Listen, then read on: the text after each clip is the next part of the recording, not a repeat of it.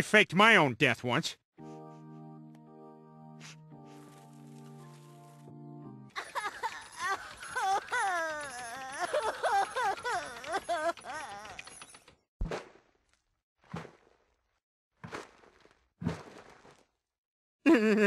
no dentist appointment for this guy.